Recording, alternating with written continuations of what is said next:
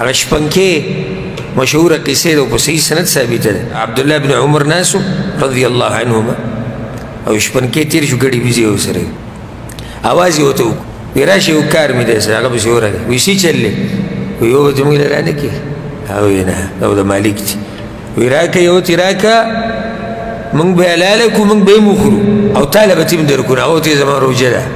خو ډیره ښه شو روزه به ماته کی تعالی به تیم غوخه در کو نه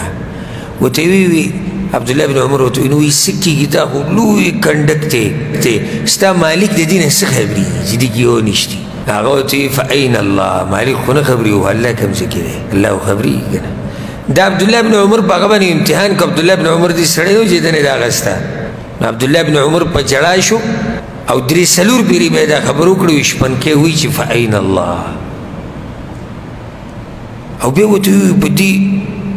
ګرمو هواګانو ته وګوراو د صحرا کې ګوره سم ګرمي سم سړی سوزي وی دی تپ ته وګوره او دی ګرمۍ ته وګوره تا روژه نیولې ده وی د دې ورځو نه فایده اخلو د آخرت لپاره بیا دا موقع نه راځي